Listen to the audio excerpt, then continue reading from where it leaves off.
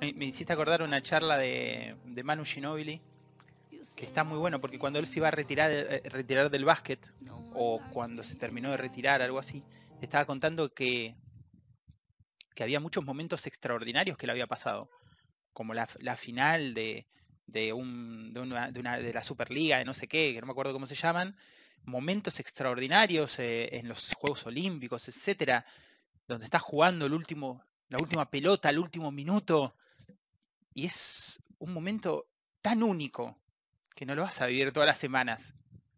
Entonces él cuando se va, cuando va a dejar el básquet, él empieza a pensar, dice, yo todo eso no lo voy a volver a vivir. ¿Cómo va a ser mi vida ahora? ¿No va a ser aburrida? ¿Qué, qué voy a hacer ahora? En un momento me pregunté, me pregunté, dice él, ¿realmente importa todo eso? Y es buenísimo preguntarse eso, ¿qué tan importante es? En Alanón uno de los lemas es, ¿qué tan importante es? Para enterarte cuando subo nuevos videos, hace clic en suscribirse y luego clic en la campanita. Comparte este video con tus amigos. Recuerda la frase de Del Carnegie que dice, usted puede hacer más amigos en dos meses interesándose en los demás que lo que haría en dos años tratando de que los demás se interesen en usted. No olvides suscribirte y nos vemos en el próximo video.